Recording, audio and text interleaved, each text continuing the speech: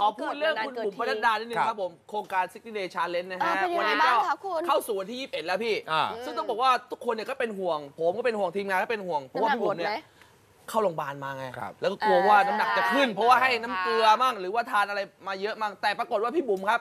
สปิริตดีมากออกจากโรงพยาบาลปุ๊บนี่เลยขึ้นวิ่งลู่วิ่งเลยครับผมครับแต่ตอนนี้เนี่ยไม่ต้องเป็นไรใช่ป่ะไม่เป็นไรหักโหตอนนี้ใช่พี่บุ๋มดีฮะแล้วอันก็นี้คุณบุ๋มอยู่เชียงใหม่อยู่เชียงใหม่ทำนายเอนเตอร์เทนอยู่ ตอนนี้น้ำหนักก็คงที่ไม่ขึ้นไม่ลง นี่นี่แต่ว่าที่โหดกว่านั้นเมื่อสัปดาห์ที่แล้วอะค่ะคือ ค่ะ พี่บุ๋มเนี่ยเขาต้องไปทริปกินแหลกที่ฮ่องกงอ๋อก็ต้องบอกว่าทริปเนี้ยมีการเอ่อแพลนกันไว้ตั้งแต่ก่อนที่เขาจะเข้าโครงการ 60 Day Challenge แล้วครับ เขาทำยังไงนะคะ อะ แต่ว่า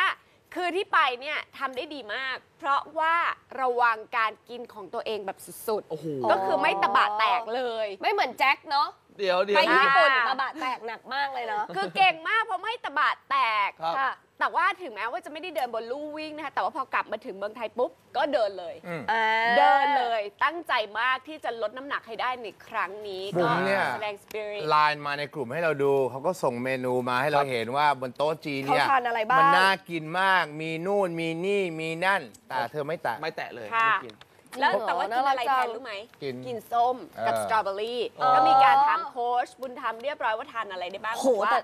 ส้มห้ามเกินวันละสองลูก ไปฮ่องกงไปฮ่องกงโต๊ะถ้าจีกินนเนี่ย นี่โอ้โห อดได้ไง ตอนนี้มีหลายคนครับ อยากจะโฆษณาออนไลน์ แต่ไม่รู้ว่าจะลงที่ไหนดี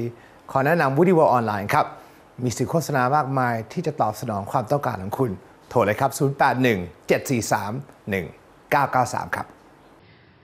อาจจะยังมีข่าวอีกมากมายที่เป็นข่าวใหม่ที่คุณยังไม่รู้ เราพร้อมอัปเดตทุกเรื่องราวทุกเนื้อหานะครับ เพียงแค่คุณติดตามตรงนี้เลยครับ กด subscribe ตรงนี้ค่ะตรงท้องกิฟต์นะครับ กดเลยสิครับรออะไรครับ กดเลยครับกดเลยครับกดเลยครับตกใจกดเลย กดลูกกดตรงลูกนะฮะโอ้ subscribe ยนะคงรับงไปหมดกด subscribe ค่ะคุณเห็นคำว่า subscribe ก็กดแค่นั้นละค่ะย่าตรงไหน